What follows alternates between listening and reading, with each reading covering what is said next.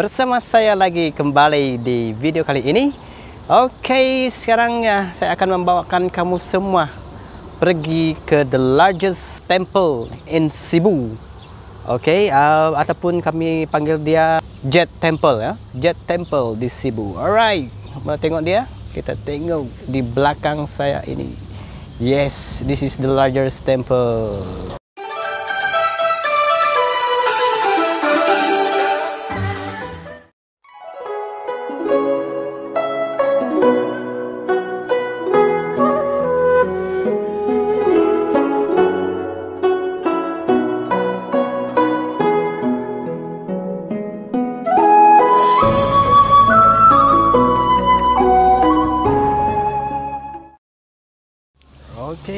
The largest temple di Cebu.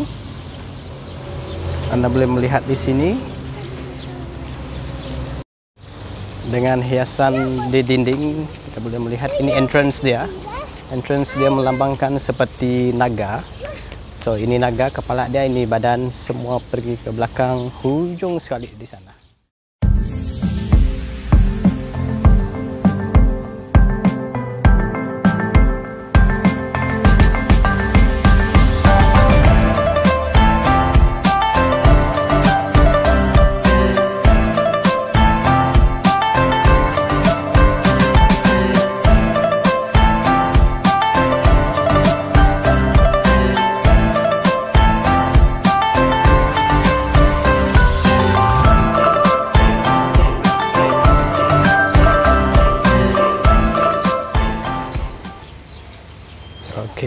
Temple yang pertama sekali.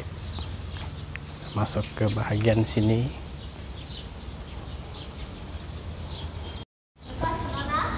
Dari Sibu sana.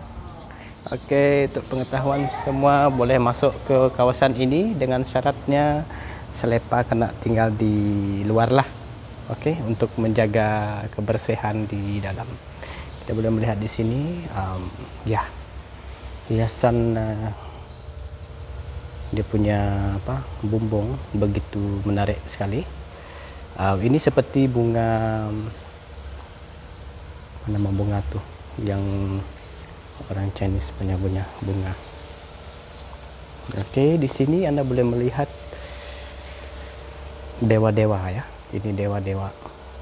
Dewa-dewa Chinese punya dewa.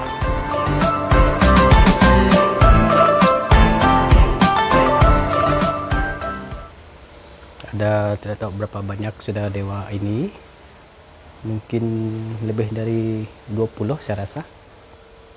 Dan ini bangunan yang paling besar sekali ini dalam ini. Hiasan dewa-dewa dia.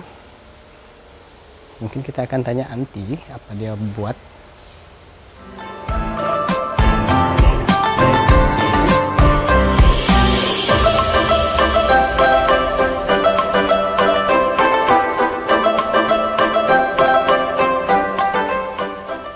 Buat apa anting? Buat apa kamu?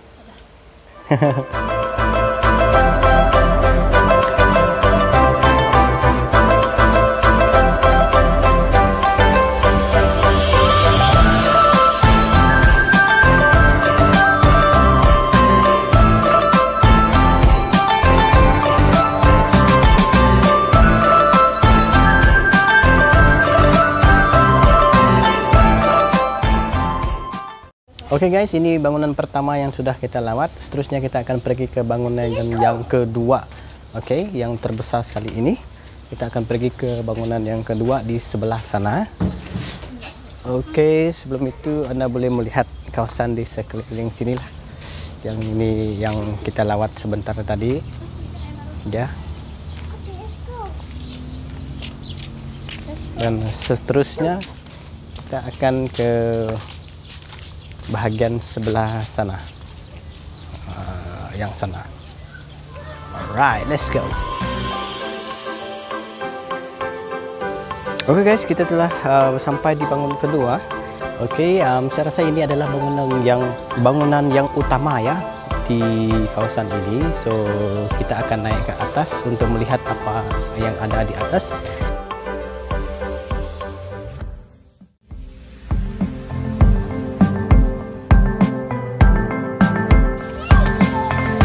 Jadi anda boleh melihat sini di tepi-tepi pagar sini dia ada lukisan dia tersendiri. Yang uh, kalau tengok ini lukisan ini bukan dilukis pakai tangan bahkan yang ini orang ukir menggunakan pahat. Yang ini batu. Batu ah dia orang ukir pakai pahat lah memang lukisan yang sangat halus sekali. Alright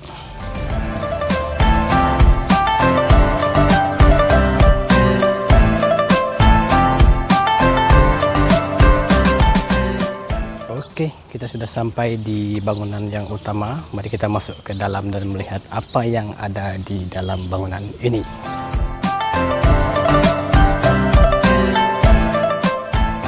Oke, Anda semua boleh melihat di sini. Di sini adalah main entrance dia, di mana batu-batu ini diukir, ya, diukir dengan ukiran naga. Ya, begitu cantik sekali.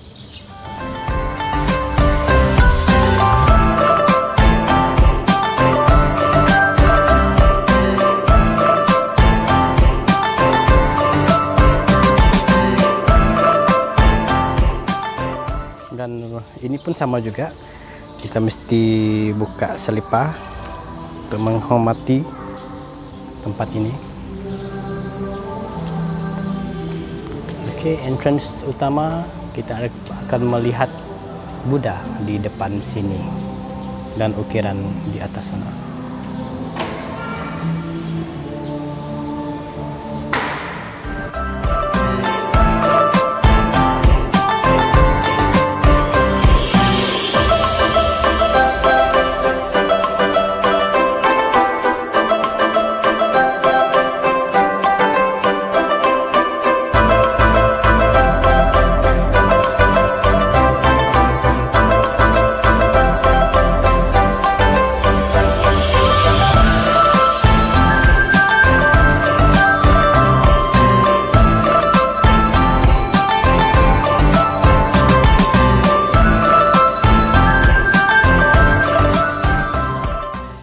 Okay guys, ini bangunan yang ketiga. I think this is the biggest one.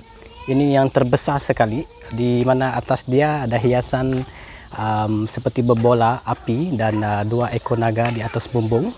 Apa yang ada di dalam sini kita akan uh, masuk sebentar lagi. Seperti biasa, di tepi sini dia punya dinding. Dia ukir ukiran tangan, di mana ini motif-motif um, burung-burung motif-motif naga ada di dalam sini.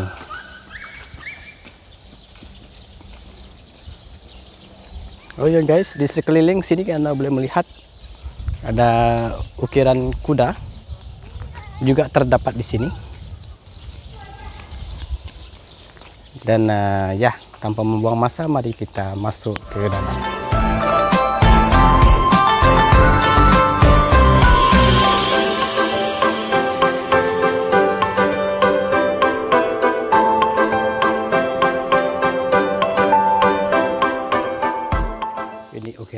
ukiran di atas uh, di tepi dinding dia. Dan uh, ukiran di atas bumbung. Ya. Unik dan cantik sekali. Dan pintu dia berkonsepkan seperti pintu orang lama-lama dahulu lah ini bahagian bumbung. Oke apa yang terdapat di sini anda boleh melihat tiang yang begitu besar sekali ya. Dan uh, patung dewa-dewa. Yang ini adalah free gift kepada sesiapa yang nak ambil pun boleh. Ini adalah free gift. Dan uh, boleh derma juga. Saya rasa ini derma kotak derma. Dan ini ya ini patung dia paling besar sekali.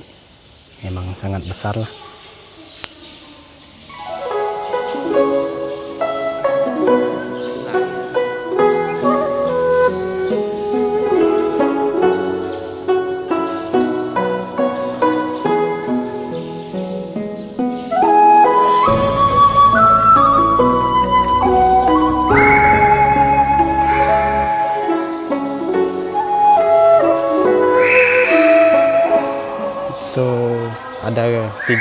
di sini yang paling besar ya.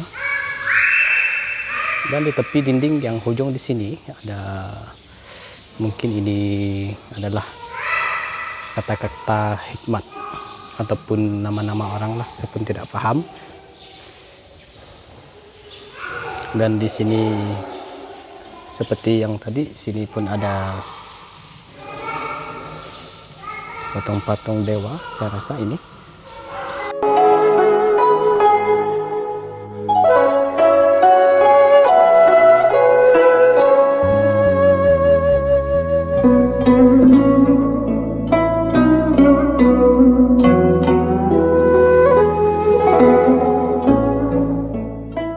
Hi guys, uh, thank you for your attention to the video. Um, ya, habis saja syuting.